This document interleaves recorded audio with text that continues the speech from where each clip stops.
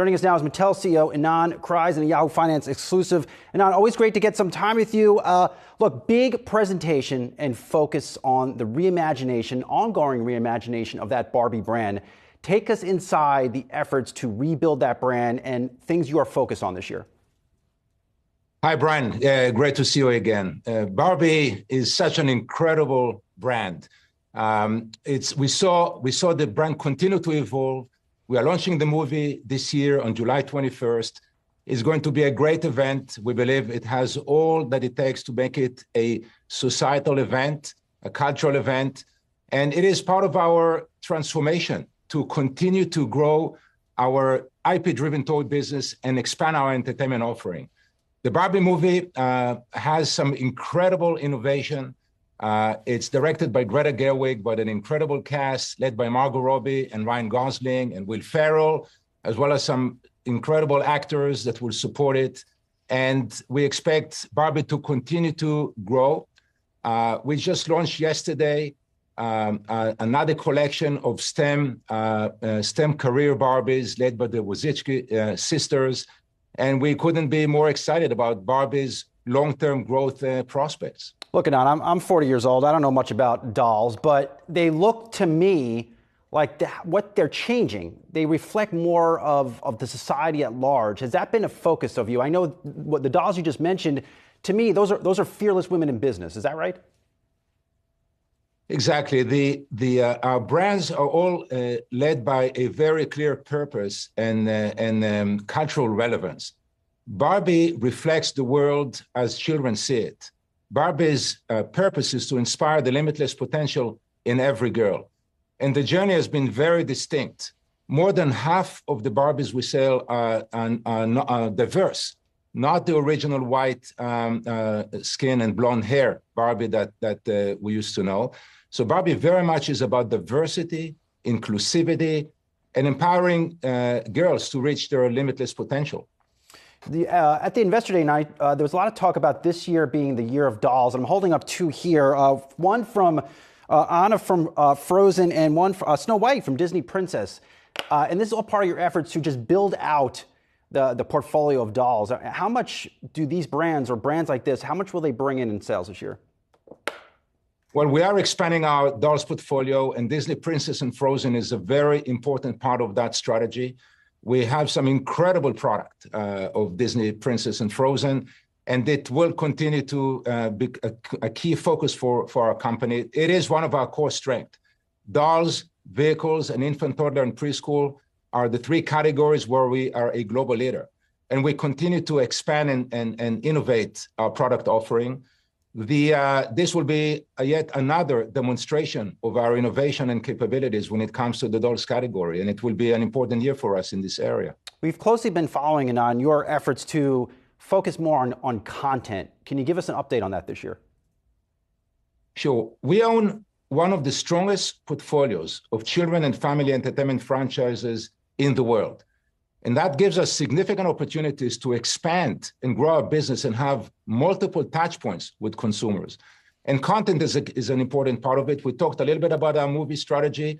Barbie is one, uh, our first movie. Uh, there are 14 other pictures that we are now developing that we already announced.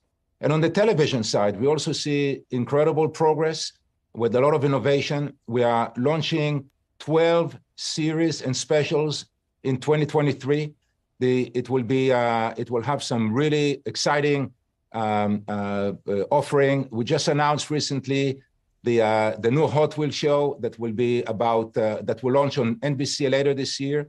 It's a show that will be about uh, a car makeover competition, and it will be it will be it's called Hot Wheels Ultimate Challenge, and it will be another representation of more innovation for Mattel. There will be additional content of Barbie uh, on uh, on uh, on Netflix, and of course, we also announced recently the launch of Barney um, uh, that will relaunch in 2024, but it will be supported uh, and accompanied by great content both on television and film that we're now developing uh, um, for future fans. And uh, we'll take this offline, but a Barney was a hot topic for me back in back in school. Well, uh, but we're not gonna we will leave it there. I, I don't want to get too much into my uh, my childhood, but you are fresh off of uh, earnings, of course, too. how much of the inventory overhang in retail from a toy perspective is less is left out there, and when does that clear get cleared?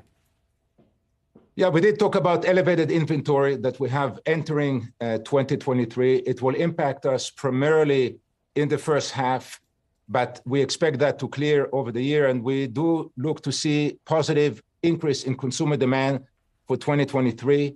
We are working through elevated inventory, uh, but we, even with the continued macro uncertainty, we are confident about our strategy and plans for, the year. There will be several exciting launches and initiatives uh, that will bring to, to the market. We talked about Disney Princess and Frozen for the year.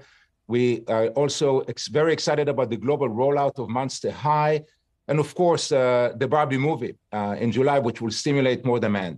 We continue to execute our multi-year strategy. Uh, we have a very balanced portfolio. Our category structure is working very well. We're seeing product in demand although it's still early to tell, we're off to a good start uh, in the year. And there's a lot of cross-category innovation uh, in all of our um, uh, portfolio. Beyond 23, we believe the strategy, our strategy will continue to drive top and bottom line growth, and we aim to outpace the toy industry and gain market share. Well, this has been a strange weekend on uh, in, in, markets. Now there's concerns about rates going even higher. That has impacted the stock market. Consumers are starting to get jittery. You know, how concerned are you about where the economy is at this point? Well, we continue to uh, monitor the economy. We do expect to see impact on consumer demand, although we still do it, believe the industry will be flat to slightly up. Toy industry has demonstrated its resilience over time, and we expect it will continue to grow over time. Uh, within that, we do expect to grow market share. But it is important to say that we are entering this year with the strongest balance sheet we've had in many, many years. Uh, even in a challenging market and volatile market in 2022, we continue to improve our uh, leverage ratio and strengthen our financial position. And that gives us uh, flexibility and optionality to continue to improve our position and strengthen our competitive standing. We have begun share repurchases um, uh, for the year after nine years, and this really tells you how confident we are in our financial strength and opportunities that we see uh, for, for Mattel to continue to grow uh, and create long-term shareholder value. Well, you know, who's confident on that, that He-Man. I believe that's He-Man behind you. That is, uh, as a toy geek, of course I'm going to recognize this thing. Always great to get some time with you. Mattel CEO Ynon Kreiz. We'll talk to you soon. Thank you so much, Brian. All right, I appreciate it.